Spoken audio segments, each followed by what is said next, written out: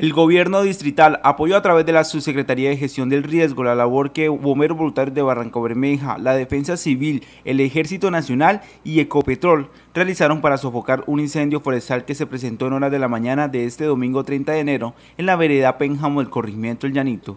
Según el reporte entregado por la alcaldía y los organismos de emergencia, por fortuna no hubo afectaciones a personas o viviendas generadas por la conflagración que fue atendida por 32 bomberos y 6 vehículos contra incendios. Bomberos voluntarios de Barranca Bermeja recibió la información del inicio de un incendio forestal a las 10 de la mañana. Inmediatamente se traslada al sitio y evidencia de que hay una conflagración bastante amplia.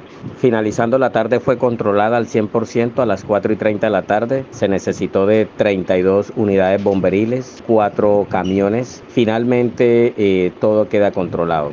Las autoridades evalúan la magnitud en número de hectáreas de vegetación afectadas y dieron un parte de tranquilidad a la comunidad del sector luego de descartar riesgo de explosión o derrame de petróleo por posible contacto del fuego con las tuberías de Ecopetrol.